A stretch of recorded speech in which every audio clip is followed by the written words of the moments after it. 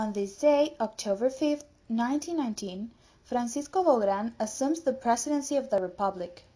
He was born in Pinalejo, Santa Bárbara. His parents were Saturnino Bográn Bonilla and Saturnina Barahona Leiva. Graduated in medicine, married to Guillermina Leiva, daughter of former President Ponciano Leiva Madrid and Luisa Castro Acosta. Appointed as second appointee and served as president from October 5, 1919 to February 1, 1920. On April 4, 1919, the people of Honduras were called to general elections to elect the president and vice president. The conditions of the First World War had repercussions because the state of siege had not been lifted in the major cities. To continue in control of the public administration, President Francisco Bertrand tried to impose the candidacy of Dr. Nazario Soriano. The supporters of Rafael López Gutiérrez started an armed movement backed by Generals Vicente Tosta, Gregorio Ferrera, and Ernesto Alvarado. During the months of July and August 1919, the country was again devoured by the flames of passion and political imposition. Armed uprising against Bertrand's government spread like wildfire throughout the country.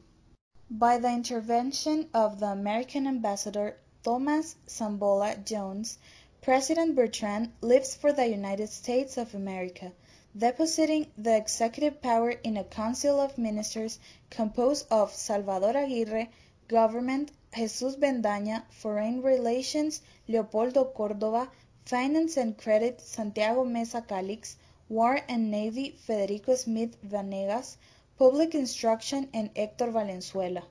Development, Public Works, and Agriculture. By September 16, all the ministers had submitted their resignations.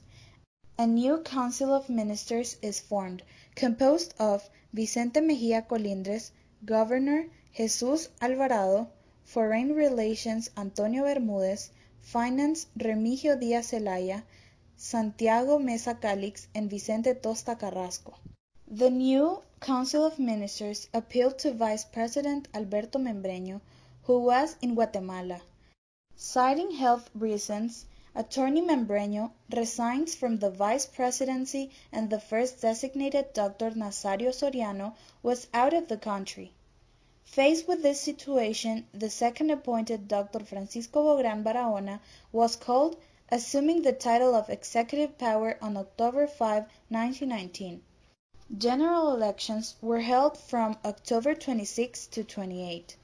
The candidates of the Republican Liberal Party, General Rafael López Gutiérrez as president and José María Ochoa Velázquez as vice president, were elected. This was a day in the history of Honduras.